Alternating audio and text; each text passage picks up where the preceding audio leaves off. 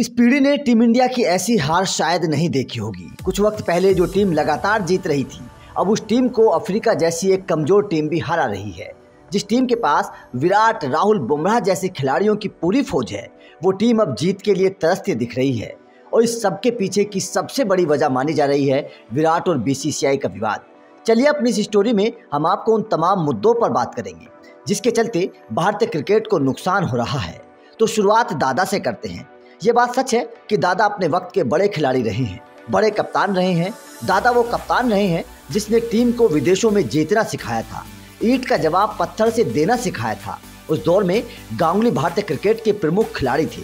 भारतीय क्रिकेट की दो पीढ़ी बीत जाने के बाद भी आज ज़्यादातर लोग सौरभ गांगुली को याद करते हुए कहते हैं कि उस कप्तान ने भारतीय क्रिकेट की रीढ़ की हड्डी को स्टील की तरह मज़बूत कर दिया था। लेकिन एक कहावत सही है कि कभी कभी अतीत वर्तमान पर बोझ बन जाता है, खासकर जब जब आप उससे चिपके रहते हैं।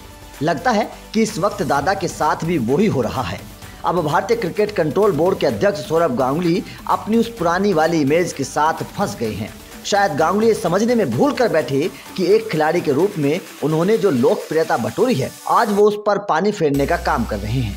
उनके कुछ फैसलों की वजह से बीसीसीआई और टीम इंडिया की साख दाव पर है।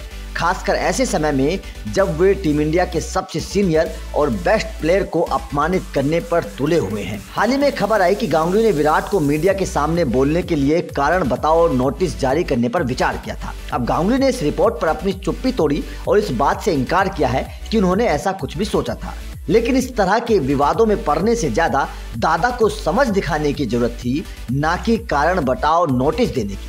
क्योंकि ये बात सच है कि पिछले कुछ हफ्तों में किंग कोहली को कमज़ोर करने के लिए बहुत कुछ किया गया है। खास तौर पर यह बात हम इसलिए भी कह रहे हैं क्योंकि गांगुली को खुद चैपल विवाद के बाद इस बात का एहसास ज़रूर होगा। लेकिन उसके बावजूद भी गांगुली ने कोहली के मामले में संवेदनशीलता नहीं दिखाई। इसके विपरीत वो कहा सुनी और पर्दे के पीछे की साजिशों में लगे रहे और उसका असर ये हुआ कि आज टीम इंडिया की हार पर हार हो रही है।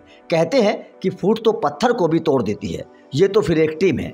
कुछ वक्त पहले जिस अफ्रीकी दौरे को सबसे आसान दौरा बताया जा रहा था, वहाँ इतनी शर्मनाक हार का सामना करना पड़ेगा, ये तो किसी ने नहीं सोचा था। और अगर ये सब कुछ हुआ तो उसके पीछे विराट और बीसीसीआई का विवाद है। और ये बात हम नहीं कह रहे, बल्कि कई पूर्व खिलाड़ी इस बात को कह रहे हैं कि इस मामले को एक पेशेवर तरीके से सुलझाया जा सकता था। लेकिन नहीं हुआ।